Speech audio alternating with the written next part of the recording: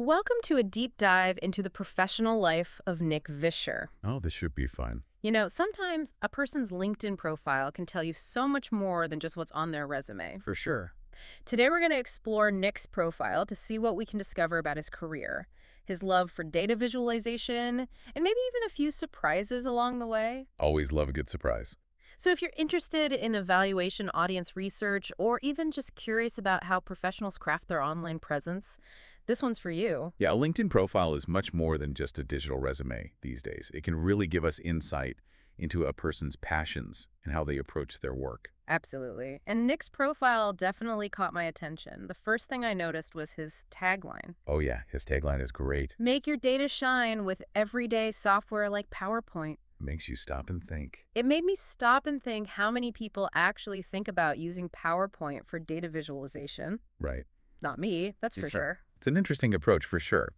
It suggests that anyone, regardless of their technical skills or budget, can create engaging and effective data visualizations. He's not advocating for expensive software, just using the tools many of us already have Yeah. in a new and innovative way. And he's not just talking the talk. Oh no. He's walking the walk. He's a certified presentation specialist, and he has a YouTube channel with over 50,000 subscribers where he teaches these very skills. That's incredible. That's what struck me as well. It demonstrates a real dedication to making complex information accessible to a wider audience. Definitely. You know, empowering others to understand and work with data. Right. It makes you think what could nonprofits and smaller organizations do if they were able to easily visualize their data? They could probably reach more people Oh, yeah. and even attract more donors. Precisely. And that really speaks to the potential impact of Nick's approach to data visualization. It's not just about making pretty charts, it's about making information understandable and actionable. Mm-hmm. Okay. But here's the thing. Before he was this data visualization guru, Nick had a completely different career path. Really? He was an animal trainer at the New York Aquarium working with pinnipeds. Wow. That's not the typical background for this kind of work. You wouldn't think so, would you? No. But maybe working with sea lions actually taught him a thing or two about handling tricky data sets. Huh. I mean, training animals requires patience observation and a deep understanding of behavior. That's a great point. You have to break down complex tasks into smaller steps and find ways to communicate effectively. For sure. Maybe those skills actually translate surprisingly well to data analysis. It's certainly an intriguing possibility. And it highlights how our seemingly diverse experiences can shape our professional journey in ways we might not even realize. So after his time working with sea lions, Nick transitioned to the world of museums and zoos, focusing specifically on data and evaluation. He's currently an evaluation specialist at the Woodland Park Zoo. I see. So he clearly has a passion for understanding the impact of programs and initiatives, especially in the context of zoos and aquariums. Remember, before Woodland Park Zoo, he was the audience research and evaluation manager at the Denver Zoo. And there he was responsible for a whole range of evaluations, right? Yeah. Everything from guest experiences to employee engagement, the impact of specific programs, and even DEAI-related surveys. You're right. For those who might not know, DEAI stands for Diversity, Equity, Inclusion, and Accessibility. So these surveys would focus on ensuring programs are reaching and benefiting everyone. It's an incredibly important aspect of evaluation. It sounds like he had a pretty diverse portfolio. That tells me he's comfortable working with different types of data and adapting his approach to the specific needs of each project. Absolutely. And that adaptability probably stems, at least in part, from his varied experiences. But let's not forget his academic background. He earned his master's degree in zoo and aquarium management from Michigan State University. And even his thesis topic hints at his interest in communication and learning. Comparative analysis of knowledge gain at an interpretive versus fact-only animal training demonstration. It seems like even early on he was fascinated by finding the most effective ways to convey information. That's a really interesting observation. It suggests a consistent thread throughout his career, doesn't it? This desire to understand how people learn and how to present information in a way that resonates. And it's not just academic theory for him. I mean, he's actually published articles on a variety of topics, from measuring visitor response in museums to something called Assessing Visitor Comfort and Attitudes Toward Carcass Feeding at Zoos. Carcass feeding. Yeah, it sounds a little intense, but it's actually a really interesting topic. It's about how zoos educate visitors about the natural world, even the parts that might make some people squeamish. I see. Exactly. And the fact that Nick has published on such a wide range of topics shows he's not afraid to tackle complex Oh, yeah. and sometimes controversial issues. He really seems to be a thought leader in his field. He certainly is. And his publications go beyond just presenting data. They demonstrate a commitment to using data to actually inform decisions and improve practices. Mm-hmm. He's a true advocate for data-driven decision-making. And that advocacy really shines through in his own company's Spotlight Impact Data Design. He helps clients, especially nonprofits, create visually engaging reports and presentations. Wow. It's like he took everything he's passionate about data visualization, clear communication, accessibility and created a way to help others achieve those same goals. It's amazing, isn't it? Think about it.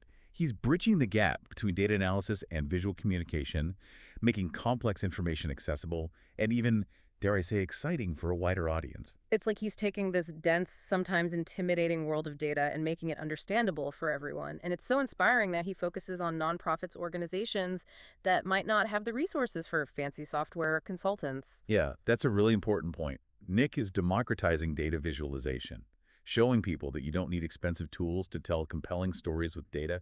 And he's not keeping his knowledge a secret. He's sharing it on his YouTube channel with tips and tutorials on using everyday software for data visualization. I love that. It's so refreshing to see someone so willing to share their expertise and help others develop these valuable skills. He's really challenging the perception of data visualization as something exclusive or difficult. It's not just about the tools, it's about changing how we think about data. Nick's approach encourages everyone to see the potential for data storytelling, whether it's for a presentation, a report, or even understanding your personal finances. Absolutely. It's about developing data literacy as a core competency. And Nick's work shows how that kind of literacy can drive positive change in the world. Absolutely. And speaking of learning and growth on his LinkedIn profile, Nick mentions that he's been building a library of books on data visualization and visual thinking. Oh, very cool. Right. It's a good reminder that learning never stops. Even someone as accomplished as Nick is still expanding his knowledge and exploring new ideas. It's inspiring, right? He doesn't just talk about lifelong learning, he embodies it. It really makes you think about the areas where you could be pushing yourself to learn and grow. So from what we've seen so far, Nick's LinkedIn profile paints a picture of someone with diverse interests, a commitment to lifelong learning, and a real passion for making data accessible and engaging. Definitely. And it reminds us that our own unique backgrounds and experiences can be valuable assets, even if they don't seem directly related to our current career paths. Absolutely. Just like Nick's journey from animal trainer to data visualization expert, it's fascinating how he's combined seemingly disparate passions into a successful and impactful career. He's taken the best of both worlds and created something truly special. It really makes you wonder, how can each of us leverage our own unique experiences to make a meaningful impact? I think that's a great question for our listeners to consider, but there's one more thing I wanted to explore on Nick's profile, his recommendations. You know, recommendations can tell you so much about a person. Oh, for sure. It's one thing to describe your own skills and accomplishments, but it's another to have colleagues and supervisors validate those qualities. Yeah, they offer a glimpse into a person's professional reputation and how they're perceived by others. Exactly. And Nick's recommendations really stood out to me. One person described him as an exemplary manager who's approachable and always available to solve issues. Wow. Another recommendation highlighted his impressive diplomatic skills and his ability to clarify communications and find solutions. It's interesting, isn't it? These recommendations go beyond just praising his technical abilities. They speak to his character, his leadership qualities, and his ability to build strong working relationships. It seems like he's not just a data whiz, but also a genuinely good person to work with. Right. It's a good reminder that technical skills are important, but so are those interpersonal skills. Those soft skills can really make a difference in your long-term success and how much you enjoy your work. So as we wrap up our deep dive into Nick Visscher's LinkedIn profile, I think it's safe to say that we've learned a lot. We've seen how someone can combine their unique experiences, their passion for knowledge, and their commitment to accessibility to build a fulfilling and impactful career. It's pretty inspiring. It's really inspiring, right? I mean, who would have thought that an animal trainer would become a data visualization expert? know, right? But it makes sense when you see how his diverse background has shaped his approach. Yeah, it's a reminder that we all have something unique to offer. And sometimes it's those unexpected experiences that can lead us down the most interesting paths. And Nick's story reminds us that data can be a powerful tool for good, and that we all have a role to play in making data more understandable and accessible.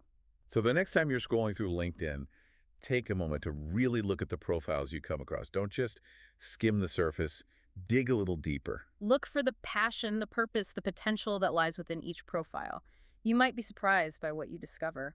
And who knows, you might even find inspiration to create your own data masterpiece using nothing but PowerPoint. I think I might just give that a try. Me too.